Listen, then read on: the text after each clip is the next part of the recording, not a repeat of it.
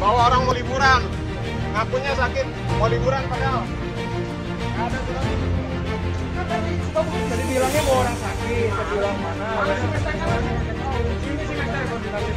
baca Mana si STNK-nya? Eh, kamu koordinasi-koordinasi. Mana sini? Sim, sim, kamu. Saya petugas si STNK kamu mana? Si STNK kamu mana?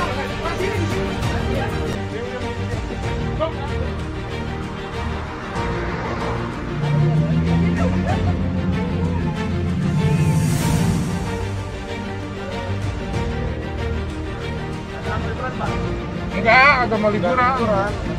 Nah, Mau ke, ke tempat saudara atau mau Iya, ke saudara. Oh, ke tempat saudara. udah udah Melakukan dan mengawal proses one way di jalur puncak ini.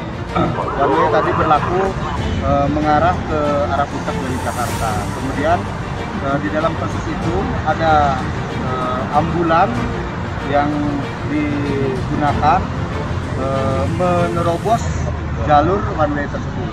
Makanya tadi kami hentikan untuk diberikan pengawalan awalnya. Tapi ternyata setelah diperiksa di dalamnya eh, bukan orang sakit, tapi orang mau berlibur.